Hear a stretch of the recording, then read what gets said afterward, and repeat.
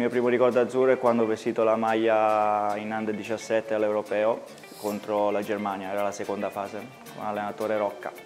L'emozione era tanta, i miei compagni mi avevano aiutato tanto, era andata bene ed ero molto contento. Da napoletano Fabio Cannavaro, perché è un grande campione, ho avuto la fortuna di giocare con lui ed è stato bello.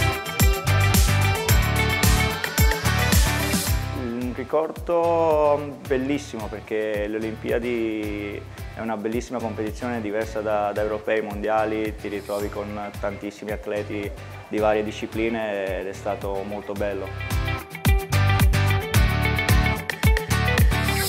Segnare un gol in azzurro è sempre emozionante, ne ho fatti tre, ma non con la nazionale maggiore, magari sarà ancora più emozionante.